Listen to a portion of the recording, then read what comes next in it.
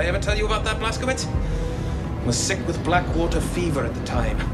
Possibly the worst day of my life. Not even a heavy diet of whiskey could improve my condition, if you can imagine. Ah, Anyway, this castle, Helga owns it. It's her occult research center. Now we need to take down Deathshead or the war will be lost. And Helga is vital in doing this. There's a top secret document folder in Helga's office. It should give us the location of Deathshead's compound. Once we have that, well then, we can launch an assault on his base of operations.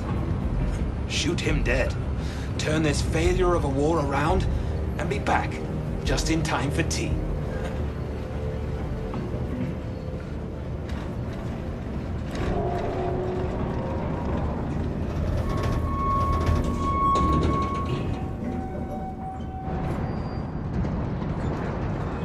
Right.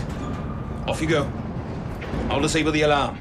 You head for Helga's research center. We'll stay in touch via radio, leaving the channel open.